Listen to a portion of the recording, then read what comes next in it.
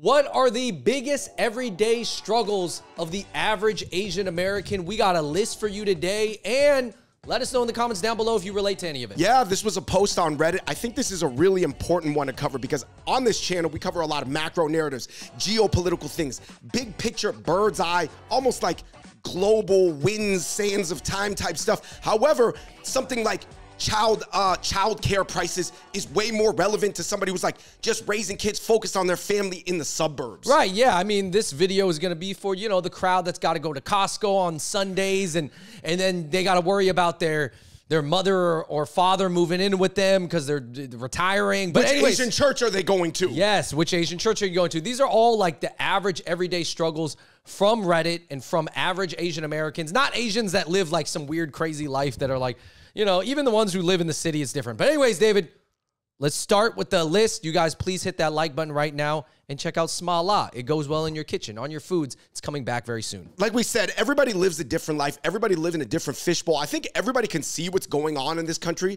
but from the suburb to the inner city, it could vary a lot. Mm-hmm. Like you could be almost living in a different America, but you're probably like aware of what's going on with each other. But you know, we spend a lot of time in the suburbs still to this day.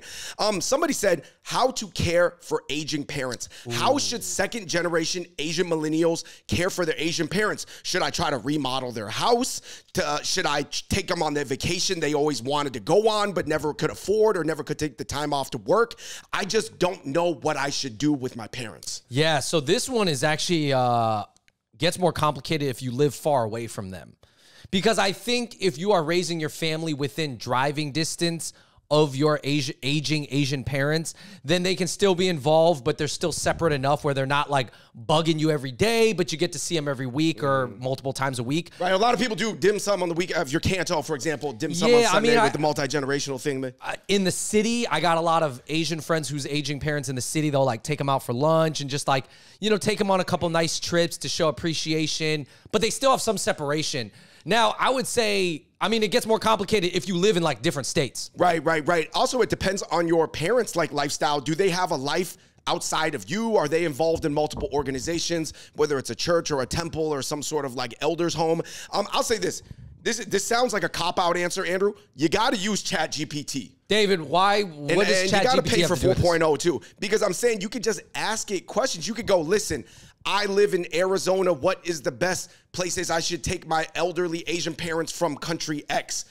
And sometimes ChatGPT will give you an answer. It doesn't even always give you the perfect answer, but it can give you an answer that you piggyback off of. You, you know what it is? I think what you're saying is ChatGPT is good for like brainstorming ideas no, and just get, getting the the brain, the ideas flowing of what you can do. I mean, it can't do it for you, right. but it can just give you better thinking yeah. than like your mailman can for yeah. whatever. Like somebody, uh, you could call a local Asian lawyer. Sometimes it's worth it to pay a professional couple hundred bucks for some consultation. They basically would be able to tell you what Medicaid, Medicare programs you need to place your parents in, what districts or counties may have more favorable policies given their situation. These things matter, right? right? A lot of people they don't know how to like I guess strategically position their their parents in a situation where it's going to like alleviate some of the stress on you. Yeah, and this is all assuming that you're not just going to have your parents move in with you because that's the other answer which is us. they live with you yep. and then that's it you and know for their dream trip i always say this man nothing can beat going back to asia with your with your parents well especially pretty much every asian country got better it's not when they left, dude. It's not like when they left, man. That honestly, it's just not different now. Um, somebody said dating as an introvert. I just do not see how it can be solved. Wait, you mean that this is a struggle that they're having? Yeah, this is a guy who may not have super high. He may not look like a model. I'm saying he's very introverted. What's he gonna do? Right, because uh, he's probably thinking maybe he's in. Let's just say he's in his 30s. He has a little, a good job, but not a great job. Probably not living in a densely population part of America. Yeah, it's tough, man. Um, I I would say you gotta like you got to put a little bit of work in yourself. Probably what happened, and this is probably the case for most dudes who feel behind, whether they're Asian or not, but particularly Asian guys. There's like we're we're behind in some way, in some way of of the coaching or the training and the thinking of the mentorship. We're a little bit behind, and that's not wrong to say that. It is you, what it is. Yeah, it is what it is. But you just got to acknowledge it and then make up for it. And now, glad, luckily, in this day and age, there's so much information, so many connections, so many services, so many ways to connect with people who can help you in that. I would say this go to Asia and do not confuse being an introvert with just like not having enough attack power in your life to start and complete projects all the way through. I think that sometimes people are like, oh, I'm an introvert. I'm like, that doesn't mean introverted doesn't mean you don't do anything. Yeah, and I would recommend even if you move to Asia to feel more part of that society there, you still have to try to work hard and meet people in order to make that a successful move or trip. Like you can't just land in Asia and then you're an all-star. That does not happen. That is not the way it works. Right, right, right. Maybe uh, you know more so 20 years ago, but even back then probably different to be honest. Um this guy said that a lot of second generation Asian Americans like myself, we work hard, we get jobs in well-paying fields, but then we feel bad because our white peers that work in that well-paying field have way more legacy summer homes, destination weddings, uh, legacy admissions to schools. So in a way, we work so hard, but then we still don't have what our coworkers have at the consulting firm. Ah, you know what it is? It's kind of I David, we have a friend who's from Hong Kong who was working in banking, kind of made his way up and No, no, he was from a, a very humble family. very humble family in Hong Kong, did his thing, made it in America. Uh, but he felt like at his big bank job that he was at, he was feeling limited. And like he was probably looking at the other people like him, and either people were getting promoted above him or the people equal in that position that were American had so much more legacy money. And he's just like, now he's worrying about sending No, no, he, he had to send school. money back home to support Yeah. multiple people in his family back in Asia. Whereas his same party, even though it was a good job, they were almost like living like they owned the company because they had come from families with such wealth. David, this is a really uh, crazy thing to ask, but do you think American born Asians can take any pride in their partial immigrant experience? Meaning that you are get you are partially an immigrant if you work just as hard as that person and you get a little bit less. That to me is like you're an immigrant. Right, because you're saying you don't have the vacation home. You don't have the a legacy crest or something Yeah, like because that. you, you're starting from zero or starting Yeah, from a lot less. Yeah, I do think that that's why you can't. To your point, I don't. I think some people don't want to do that because that gives them an excuse not to reach for the stars, right? But then once you get to a certain level, I do think you have to cut yourself some slack and be like, no, of course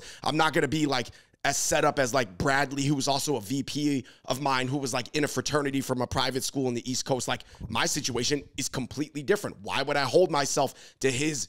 What like legacy of multi generational wealth or something like that? Yeah, But- and but do- obviously- do that while you start investing in in, the right stocks and real estate and things. Yeah, like and that. listen, I mean, that's why obviously some people who can they marry into those families. You know what I mean? But Well, that's a way to skip it. that is a way to skip to it. No, shortcut let's be honest. That's that's a way to get in there. But uh, anyways, if you're working your way up, don't feel bad. You did well for yourself. Uh, the world is not equal, but you know, again, your parents just came here, or you came here as an immigrant. So overall, you did well then. Right, right, right. can't- Maybe use your immigrant status to see what Asian stocks that people would be overlooking that you know potentially could catch a bounce depending on the market. Um, this guy said that I'm an Asian American male. I have social anxiety and I also have autism. Other people were coming through talking about potentially having Asperger's and how that Asian in the Asian world it might get diagnosed like less because in a weird way asians are considered uh, especially like certain types of asians chinese more introverted and nerdy anyway so it's almost like they might not get the the the, the addressing of those like issues in a younger age Man, uh, I'm not gonna say I have all the solutions, but I guess one one way is to meet other people like you or be somehow in uh, environments that you feel hyper comfortable in. You know, I, I usually don't recommend this, but like some type of rave, like Asian raves, or like very positive zones and. Uh, I don't know. Maybe there's some medicine you need to take. You know, I mean, I'm not suggesting anything. I'm just saying that uh, issues sometimes require modern solutions. So Yeah, yeah, yeah. Take And that I- for what I'm saying. Find an online community that is supportive, not negative, not the toxic, you know, whatever victim negative ones. Find something that's like of people going through a similar thing and then just take a look. Like probably out of a forum of uh, 10,000 people people are going to have like 50 solutions. Pick the solutions that vibe with you that are going to work for your life because obviously you're not going to do all 50 realistically. It's not going to align with you right? But yeah very very tough situation man. Everybody's born differently. Other people were just saying listen guys I know a lot of people on this Reddit forum like to talk about race and how we're being viewed, uh, xenophobia or, or the yellow peril again, but None of that stuff really matters to me, guys. I'm just talking about the cost of buying a home, just the general political stability in America. The government's always fighting proxy wars, the environment. I got kids. What kind of like, are my kids gonna be able to breathe clean air? The future cost of college, you know, just yeah, I'm just concerned about what everybody else is concerned about. Is AI going to replace my job?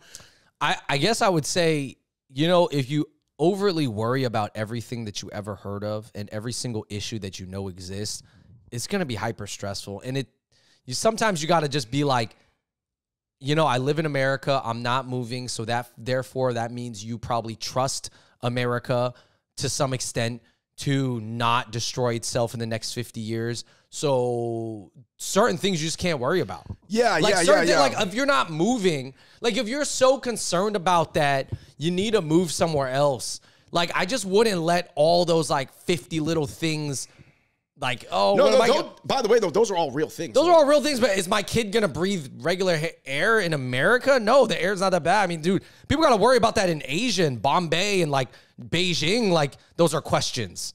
Right? Well, or like their description, their threshold for worse is way worse than over here. Yeah, but that's why you do well for yourself and you're trying to move your kid to a, a at least where you can I, drink. I will say this: I do think that people should analyze like the costs and benefits of like whatever county they're in. Like, I think Asians could do a better job knowing about like uh, local policies of local governments mm. because that can affect like you know if you're worried about the cost cost of childcare, your particular county could have 3k or 2k for free. You know, like some another mm. county over only offers kindergarten for free, so you have to pay for preschool. So that could crunch your finances. So even knowing those micro details like that, I think are pretty important like I said, pay for consultation. Go ask somebody who knows more than you. Just got to ask people and attack things. Somebody said, I noticed that a lot of my millennial friends that are Asian Americans, we picked high paying careers because we thought that that's what would make us and our families happy. But we realized we couldn't ride out the 40 year, 50 year journey until retirement. And now we're trying to switch. But some of us, are switching into passion careers. Some of us are switching into other high earning careers, but we're having variable levels of transitional success. Mm. What do you think of that, Andrew? Do you know anybody who went through this? Like, you know, like some people, they're working in fashion. Now they're in medical or something. Yeah, I mean, uh, but yeah, some people switch is more successful. I think that uh, just know that you're just one of many, many millions of people who feel that way, right? There's a lot of people who have even decent paying jobs that are not exactly happy about it. Now, like a lot of consult, a lot of lawyers and consultants. Hey, man, I, I say this: if you're just okay with the job and it pays the bills, that's not a bad situation. If you hate the job and it's sucking your soul, right? You're saying it's uh, rising cortisol levels every yeah. day. Like if it honestly is stressing you out on that level, then you got to switch. But if you're just okay with it and you can find a way to enjoy it, that's not a bad situation, man. Not a lot of people can make decent money at a job that they're okay with. A lot of people hate their jobs. It also depends too on like what are you filling your time with. Like some people they work a job they're just okay with, but then their life outside of their job is like fire. Yeah, and that's, that's true. how they balance it. Yeah, that's true. That's true. So so maybe part of the issue is your outside life, you know? And honestly, I would say for half of these problems right here, I would say uh, try therapy. Somebody's, I bet you haven't gone to therapy. Half of these people pay for an expensive therapist, an Asian therapist from a good school, accredited good good program. Um, somebody said personal life. My personal life is going really good, but my lone struggle is not letting all the negativity and current events in the world and the news turn me into a pessimist. Like you know, being a like they're okay living in their suburb with their friends and their circles, but they're like, I don't know. It just feels like when I look at the news, it seems horrible. Every YouTube video that gets lots of views about the deep state controlling the infrastructure. Well, David, I mean, do you have any advice? I mean, I would say my first advice is uh, tune it out, turn it off, turn off the notifications, unsubscribe. You mean stop something. following the details? Stop following that Twitter account that is breaking down why like everything's screwed. You know, forever. man, you don't have to even follow the CNN Instagram. Like I follow it, and I'm just thinking about unfollowing CNN just partially because it's just so much news, and even me, I, I like like the news. I'm really interested You in the you news. you you like the news more than an average person. dude, is. I'm into the news, man. I'm I'm kind of into politics, but just interviewed Marianne Williamson. Uh, but nah, even me, sometimes I'm just like, yo, man, just mute this, man. I don't need to see this. Someone said the biggest problems for me have nothing to do with race. I don't care about Asians winning Oscars. I don't care about how we're treated. I don't care about any of this stuff. I don't see any impact in my actual life. But I have ADHD, OCD, and a sleep disorder. How I wish those things could go away. What's the sleep disorder based off? You know, is it breathing? You get into some nasal strips, get your uh, get those nose clips now that help you breathe better. That really helps. Uh, do you have sleep apnea? I don't know what the sleep disorder is. Maybe you got Deviated septum. It could be a trillion different things. yeah, right? you got to stop your blue light consumption at night. You got to turn off your phone an hour before I, you go I to think sleep. a lot of people, not dude. Listen, there's problems in the world. I'll tell you this: no ma- no amounts. The most expensive vitamins in the world couldn't change it. The most saunas, cold plunges, nothing could change it. But there is problems that people are making into big problems that could be solved by those things. It Yeah. could be. Yeah, yeah, yeah. Um, somebody just said right now, I just feel like nobody cares about Asian Americans in the state I live in. And somebody said, hey, don't worry, nobody cares about AAPIs in general in any state on a statewide level. I'll tell you this. There, there is, I'll tell you this. It does feel like on a statewide level, there's nobody who cares about AAPIs. Definitely the country doesn't care about AAPIs. But there is certain cities where it feels like being an AAPI matters. Cities. Yeah, certain cities, certain municipals, Municipalities, yes. municipalities. Um, somebody said, I'm just learning to accept trauma than trying to fix it constantly. That is one thing I realized. I will never fix my things that I was hurt or traumatized by, but I can learn to accept them and live with them. This is what somebody said. well, you can't fix the past. That's why whatever happened in the past, you just have to. Uh, you know, it's kind of like something happened, right? But uh, uh, then it gets put into a processor over time, like a machine that processes your trauma and your memories, and it's like all you can do is kind of like tweak the processor, but you're not going to be able to tweak what's going inside of the processor. Well, especially when you were younger, your life like w- wasn't fully determined by you. Like No, there was I mean, helpless situations. Even to this point, a lot of people's lives are not determined by them. But it's like the only thing you can do is fix that processor in there and tweak it, maybe, or make tweaks to it. But you can't change Yo, what's going into yo, it. Andrew, for the Asian American community, I would hope that we know that it's okay to toy with the plot processor, tweak with the processor. Dude, In fact, I mean- completely factory overhaul, refresh, facelift the processor. I mean, listen, have you ever put together a computer before? A lot of people that are at the age of 28 or over have put together their own PC, or at least fixed the PC, at least the the exterior. The heat gotta do. sink fan, the Yeah. heat sink. Yeah, you ever built your gaming PC? Did you ever do that? If you did that, then that's what you got to do with your brain. Right, right, right. Um, ultimately, I'll tell you this, man. I think self improvement. There's so many methods. Like, but the thing is, once you pick a method, first of all, Andrew, I think a lot of Asians in our culture we're discouraged from even thinking about all the methods.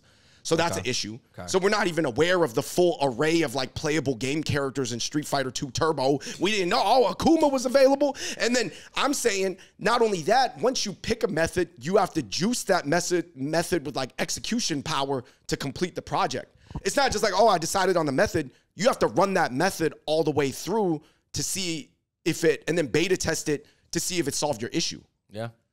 Well, David, what are some things you do to to work with your struggles? I- I'd say this vitamins.